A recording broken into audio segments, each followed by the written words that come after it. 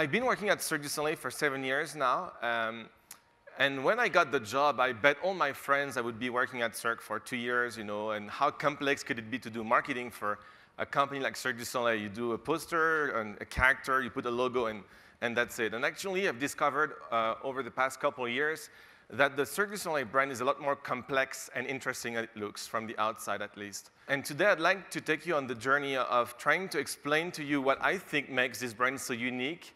How is this brand able to connect uh, with the consumers the way it does? Before we go any further, uh, I'd like to, to get to know uh, you and, and uh, how many of you have already seen a, a Cirque du Soleil show by show of hands? So a good fraction of the room. So maybe for those who haven't seen Cirque du Soleil uh, live before, let's look at the quick video clip and, and you'll see what Cirque du Soleil is.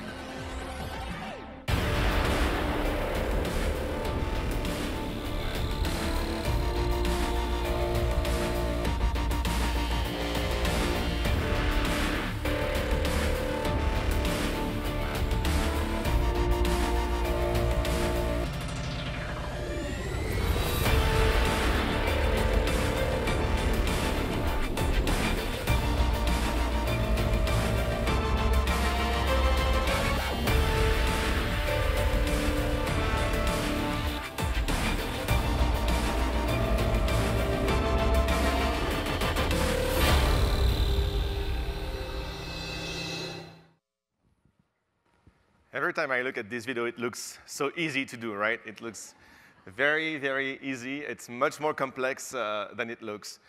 There are a couple, um, I think, principles that uh, we can share today of what made Cirque du Soleil so, so powerful.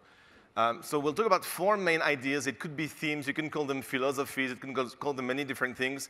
And hopefully I, uh, um, I've built this content in thinking how can these principles help other brands, help other organizations. So I'm hoping that you guys will also be able to connect your reality with what we live at Cirque du Soleil. The first uh, thing that Cirque du Soleil did in becoming uh, the brand that it is today is creating a, a unique marketplace. There is a very famous uh, case study uh, called uh, Blue Ocean. I don't know if you, ha you ha maybe you have re read it uh, before, but basically the idea of this case study is to say that Cirque du Soleil created a marketplace that didn't existed before. And so that they call that uh, an, a blue ocean as opposed to a red ocean, which is an ocean filled of uh, uh, competition and the blood of, uh, of sharks, if you want.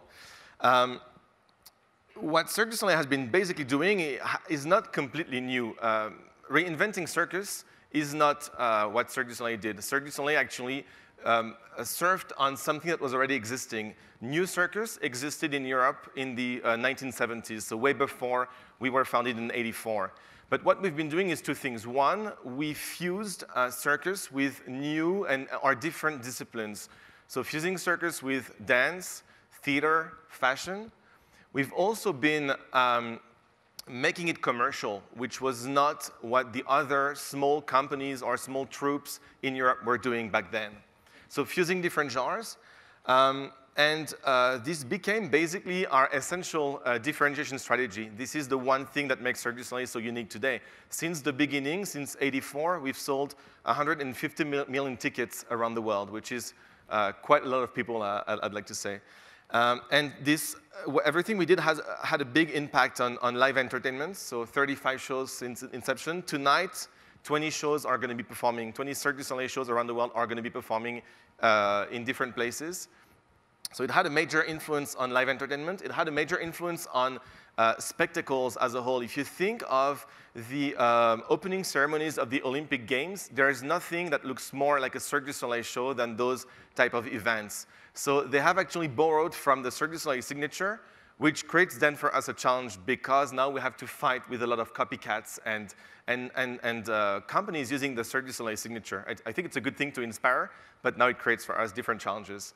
Um, it also has uh, had a, a, major impact in Las Vegas. Uh, it changed uh, the word of uh, the face of Las Vegas over the past uh, 20, 20 years, 25 years, helping move Las Vegas from a very gambling-centric city to an entertainment-centric city. And now uh, the, the, the, revenues in Las Vegas are much, much uh, more uh, uh important in terms of entertainment versus uh, gambling. The second thing um, that I'd like to say about this, that notion of transformation uh, is the idea that uh, it was not planned. Uh, let's kill this myth that Cirque du Soleil had the plan to reinvent circus. It's, it's not true. This is a picture of uh, one of the very first Cirque du Soleil shows, um, 86. Two things. One, first of all, you can see that this is a very typical circus ring, right? Every, everything you can find in any circus. The other thing, uh, having no animals, you know, is something that you know you hear a lot about Cirque du Soleil. Oh, Cirque has no animals. It was not an intent at the beginning. They just had no money to buy animals. And the arch you see in the background here is big enough to fit an elephant underneath. So this shows how transformation was very organic, and organic is something very central to who we are and the way that our company works still today. Um, in transformation, uh, so we talked about um, an organic process. Uh, what we've also been doing is uh, shattering cultural boundaries. Circus is a centuries uh, art form, right? This is something that has been existing forever. It, it goes back to, the, to, the, to the, the, Romans, you know, and, and, the gladiators was circus already. Uh, but bringing a product that had uh, an invented, that was based on an invented language, uh, remember, and for those who haven't seen Cirque du Soleil before, Cirque has, uh, doesn't speak. The characters are speaking in their own language has been able, able uh, to help us travel around the world and visit uh, literally the five continents. When you think of a Broadway show that is created in New York, when they want to scale this to other countries, they have to translate, they have to make it work in different languages. In our case, the product is global. We're able to go beyond uh, uh frontiers. So since the beginning, uh, that's really, that has been a pillar of everything we did. Um, and so we, we transformed uh, uh, a genre, and yet we've made sure that this was anchored in, in a cultural heritage. Circus was known and understood by most consumers in the world. Europe, uh, Russia, China, America all had a circus tradition. So what we did is basically uh, presented a circus, so what people knew, what consumers knew from the beginning in a new way. Everything has been done under a very clear mission. This is 20 years old, it's still valid today. Everything we do at Cirque du Soleil aims at doing three things, invoking the imagination, provoking the senses, and evoking the emotions of people around the world. This is the mission of Cirque du Soleil.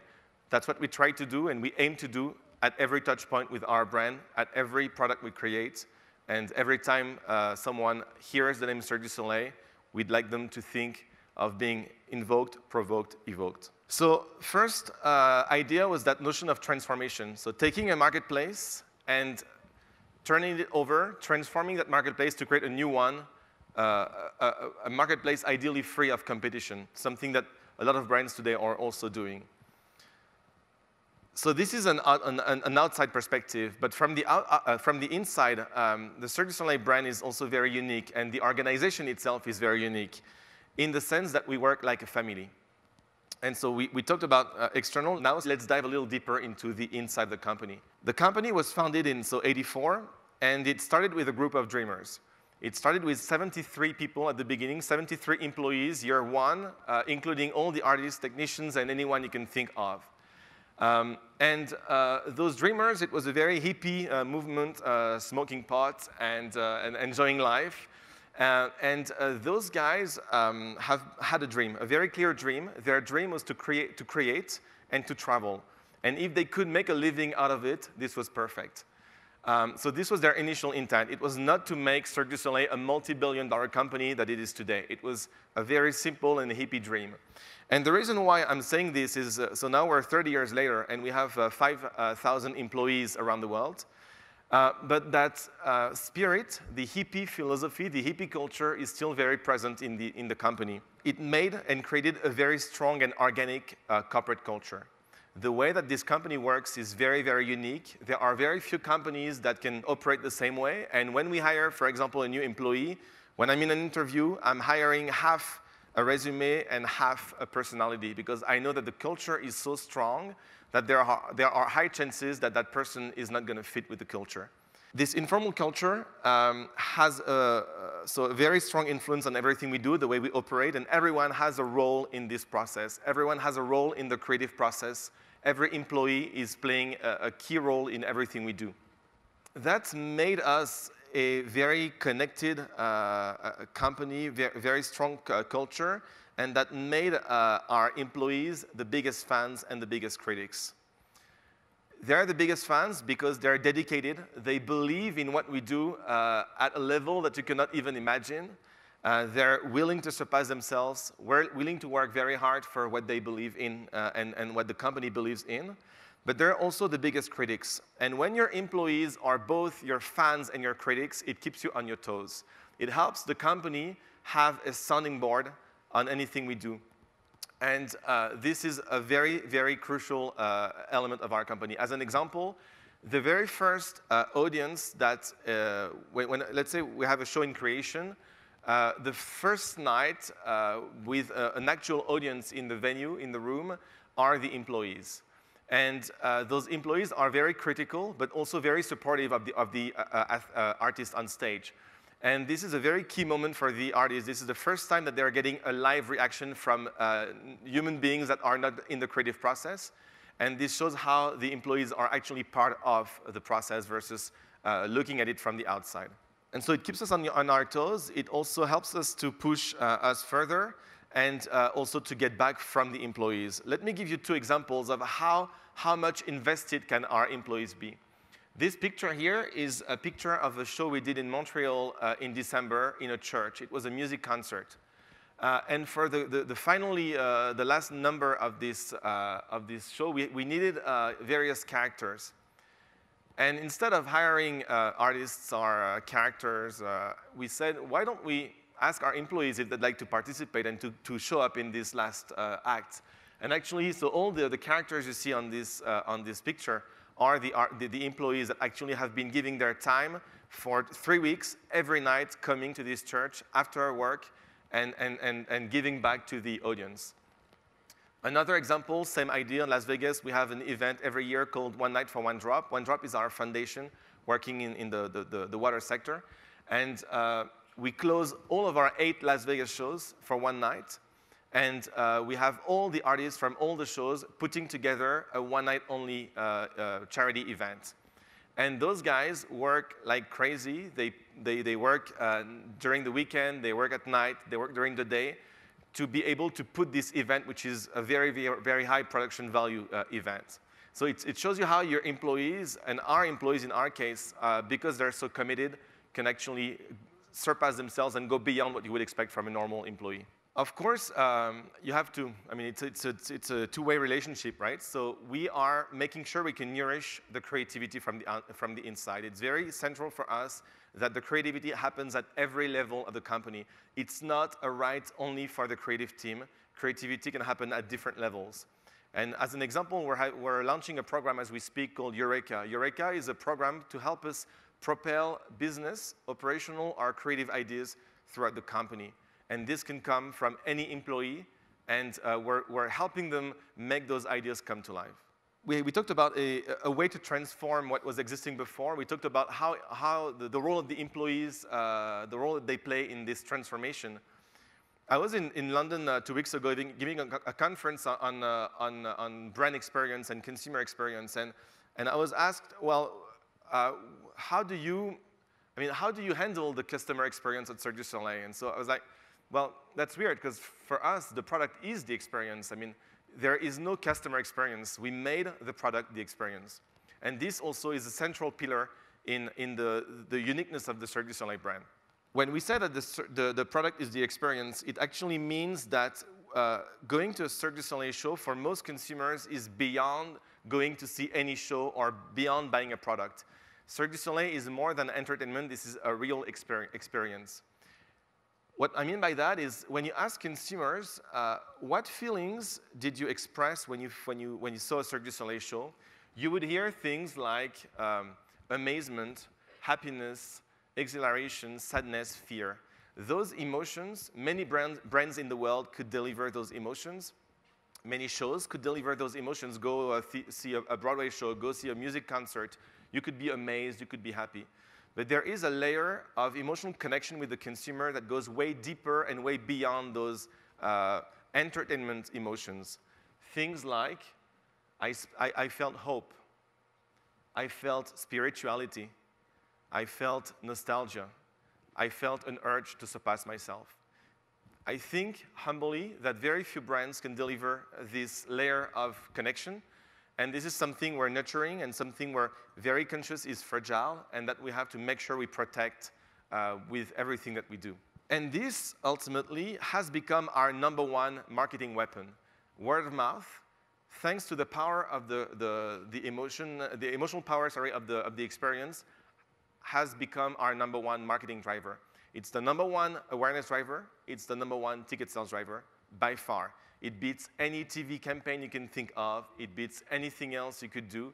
Word of mouth is what made Cirque du Soleil uh, very unique and successful uh, today. As an example, a side note, um, when uh, we went in the US for the first time in 86, so uh, two years after being created, first of all, uh, those guys were a little crazy and they, they took a one-way ticket to LA. And uh, there was a festival in LA Cirque du Soleil was the opening act of that festival, and they said, we're going to take a one-way ticket, and if we make money, if we do well, we'll come back. If not, we'll find a way. And they bet everything on word of mouth. They invited all the celebrities in, La in Los Angeles and all the key influencers, and it worked. So from day one, word of mouth has been the main and central strategy of Cirque du Soleil there is an, an, indicator that maybe you guys use in your uh, own organizations or with your own brands called the NPS, Net Promoter Score. I don't know if any of you know this, uh, this indicator, but this is basically a simple indicator measuring the propensity to recommend a brand. So on a scale from 0 to 10, how likely are you to recommend XYZ brand? And you take the 9 and 10s, promoters, and 0 to 6 detractors, and so that's the difference between promoters and detractors. Cirque du Soleil has an NPS of 85. And it's not a peeing contest. Uh, our goal is not to have the biggest NPS there is. But uh, when I compare this NPS with other brands like Harley, 81, Apple, 78, Costco, 66, again, I don't really care about having a, a bigger or smaller NPS. What I care about is those brands like Harley, Apple are able to connect with their consumers the way that very few brands are. And this is really the, the one secret sauce of Cirque du Soleil. When you drive a Harley, you don't drive any bike. When, when you have a Mac computer, you don't bring a computer to a meeting, you bring your Mac. Even Costco, often joking in presentations, but people would kill for this brand. They're so proud of having their Costco membership card, right? And, and so there's a sense of belonging, a sense of commitment that goes beyond uh, consuming a product. The fourth idea, uh, and because we talked about word of mouth, is that because we, we are a word of mouth based company, we treat the brand like a celebrity. Everything we do at Cirque du Soleil, and everything I guess most brands are doing in the world, is to create desire. That's what we want at the end of the day. We want consumers to desire us. The way we do so is a couple things. First of all, our brand was built on scarcity. Um, this is a principle that most organizations are very afraid of. I'm going to have less product in the marketplace, but I'm going to be creating more desire. Uh, for us, scarcity is a couple of things. First of all, uh, since the beginning, we've had the image that Cirque du Soleil is a very hard to get ticket. Today, we have 20 shows. No, I'm going to ruin a secret, but no, not all, our, all of our shows are sold out every night. They are selling very well, but there is a perception in the head of consumers that uh, Cirque du Soleil is, is, is, is, a hard to get ticket, and that is uh, feeding uh, desire. The second idea is that there is a very long time of, a long lead time uh, between each consumption of the product. If, if you're not going to Las Vegas or to Orlando to see uh, one of our, of our permanent shows, you're going to see Cirque du Soleil when Cirque du Soleil comes to town. And that creates an event. And so that creates desire through that question of uh, the, the, time, uh, the time lapse between two consumption experience. The third idea in, in, in, scarcity is that we don't duplicate our shows. If you want to see O, there's only one place in the world where you can see O, and this is in Las Vegas. There are no two, three, four, five O's around the world. So if you desire a product, you have to go to Las Vegas to see it. When you create desire, when you build your brand on scarcity, uh, for us, it's also about mystery. Mystery sells. Most uh, companies are trying to, uh, to kill the mystery or remove as much mystery as they can when they communicate, but mystery do sell. I'm thinking of an artist like Sia. I don't know if you guys know, know that, uh, that, that, singer, but uh, lately she has a very successful album, and, and she actually uh, was nominated for a couple of Grammys uh, two weeks ago, and, and she refuses to show her face on TV. Is it because, as she says, she has a, a, a phobia uh, of being seen in public, or is it because of her anti-fame manifesto? Who cares, right? What matters is that it sells because she creates mystery. And so ultimately, when you create mystery, you leave space for consumers to dream. You speak to the heart before you speak to the brain. And again, a very central uh, philosophy in the way that we do marketing. If Cirque du Soleil was, was communicating like most brands in the world, we would say, come and see our uh, 62 acrobats. They're going to do triple flips, and you'll see an amazing uh, trapeze act at the end, and, uh, and someone will pretend to fall, and he will not. But, um, but that's not the way we communicate. We, use, uh, we are much more uh, abstract, much more mysterious. And in our case, it does really uh, work much better than speaking to the, to, to, the, to the brain. And when you treat your brand like a celebrity, when you create desire, you consider your clients like fans.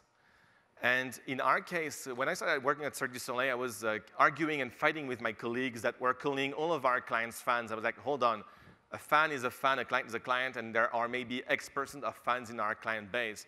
But then I'm like, wait, if Disney is calling their, their clients guests, why don't we call our clients fans? It puts you in a very different perspective as a brand. It, it changes the way that you look at your consumer, uh, that you, the way that you look at your client. And uh, today we have a database of 4 million uh, members. It's a, a, database that people subscribe to to get uh, information.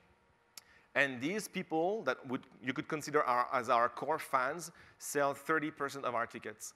30% of our tickets in, in the cities that we visit are sold to our uh, Cirque Club members. So treat your, client, treat your, your, clients like, like fans, but then also so it gives you a different responsibility. If, the, if you consider that your clients are your fans, then you have a lot, you owe a, a lot more back to those consumers. You have to treat them with a lot of respect, and you're also conscious that the relationship you have with your clients is very fragile, and you have to nurture this relation, relationship. And let me tell you um, a story of uh, one of our biggest fans. Her name is Michelle. And Michelle lives in uh, New Jersey, and she's one of the biggest Cirque du Soleil fans. Actually, we found her recently. She was one of the very first Cirque Club member, that database I was talking about. And she comes to Montreal every other year when we premiere our new shows in Montreal. Every new show starts in Montreal, uh, Big Top show in Montreal, and she comes every year. And last year, she came for uh, our new production, and we organized a surprise for her with her husband. She was eight months pregnant. I was literally afraid she would give birth to the baby in our offices, which could have been cool, actually, a great story to tell in conferences. Sadly, I won't tell that story today. But let me show you a video of Michelle uh, and, and, and her experience at Cirque du Soleil for the day. I'm Michelle Viola. I'm 29. I've been a Cirque Club member more than half my life. We're in a car going to Cirque du Soleil in Montreal. Don't know what to expect. I'm very, very excited. Come on in.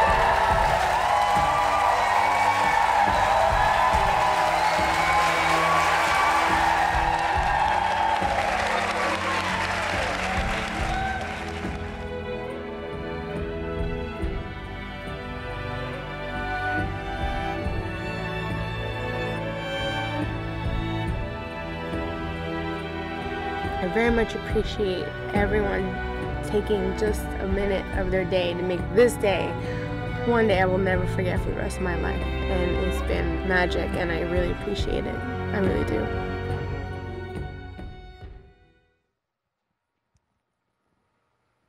So let me tell you that this was a very uh, special day for Michelle. It was also a very, very special day for all of us. And just thinking about it, you know, I have shivers down my spine. And it, seeing the, the way that she was reacting to being just simply visiting the Cirque du Soleil studios was, was mind-blowing and, and reminded all of us why we come to work every morning. And this is something that was very, very important. It was as important for Michelle as it was for us that day. Let me quickly um, recap those four main principles that, again, I think many brands could apply in their, in their lives. How can a brand define a new marketplace? How can you create a culture in your companies that enable you to work like a family and go beyond a work relationship? How can you make the product the experience instead of making, making the product experiential or spending a lot of dollars in creating a customer experience that does not necessarily exist. And then how do you treat the brand like a celebrity? These are four main ideas that made uh, Cirque du Soleil what the brand is today and, and how that, that brand has been able to connect with consumers. For us now, we just turned 30 last year, uh, and this is becoming a very interesting uh, times. It has always been, but it will be even more. You know, I, I like to think uh, of Cirque du Soleil like a, a, human being, you know, and we, at the age of 10, uh, we uh, had our first shows in Las Vegas. So we had the first, the first 10 years were childhood, discovery, unlimited energy, and then we, we turned 10, had a, home, uh, had a home in Las Vegas, and teenagehood through uh, the age of 24, 25, when the economic crisis uh, hit us quite, quite strongly because of the, the, the importance that Las Vegas has in our businesses. So at the age of 24, left uh, teenagehood, enter uh, adulthood, uh, graduated, graduated, university, had to pay the first bills. Uh, oh my God, I'm short this month, so what am I going to do? And so we had to make our first trials, and er trial, trials and errors, first mistakes. Uh, and now we're turning 30, and I think when you turn 30, uh, you, um, you are at a point in your life where you want to start building a family, you want to maintain stability, and this is exactly where Cirque du Soleil is today. And this will actually um, happen through uh, expanding our creativity to other spheres. So for us, the next challenge now that we've built this brand is to expand this brand to new territories. Let me show you very quickly to finish a couple examples of, of projects that we are working on right now, just so you understand what I mean by expanding creativity. This is Avatar. We are working on a, on a show with uh, James Cameron that will be opening uh, next year in Montreal and then tour the world. Uh, so how can you translate and, and reinvent existing IP through uh, our own uh, creative mindset? This is a, a, picture of a nightclub in Las Vegas that we opened last year uh, that fuses uh, performance with uh, very famous DJs and a visually rich uh, environment. So how do you attract a younger crowd, younger consumers through uh, products like Nightclub? We just announced last week a partnership with Ferran Adrià, a very famous chef behind El, El Bulli in Spain. So how do you, how do you, what, was, what would be a, a Cirque du Soleil restaurant? What, it, what, would it, what would it look like? You know, how do you transfer the creativity of Cirque du Soleil to things like a restaurant? Kids is, is a no-brainer, it looks, right? Uh, how do you create uh, experiences for kids that are emotionally connecting, but that go beyond what already exists in the marketplace? How do you spark creativity among, uh, amongst kids? That's one question that we're looking at right now and looking at a first TV show that could then expand into live and many different things. And finally, we, are, uh, we have announced recently that, mm, that we're working on, on, a project of a theme park or an amusement park or an immersive park, still uh, TBD. But how do you make consumers live the brand much more immersively than ever? That's one question that we're looking at right now with uh, project like, like theme parks. There is one certainty when you're a creative company, and it is that you're going to fail. We failed before. Every time we failed, uh, I'm grateful we did, because it helped us go further. And so there's one certainty you're going to fail. Uh, the question is, how do you fail forward? How do you learn from those mistakes? And everything we do in failing forward is making sure we ultimately stay true to our creative process. We are a creatively driven company. We have to stay a creatively driven company. Everything has to come from creation first. And then, when you do so, ultimately, as our founder uh, always says, uh, impossible is uh, only a word. Thank you very much for your attention.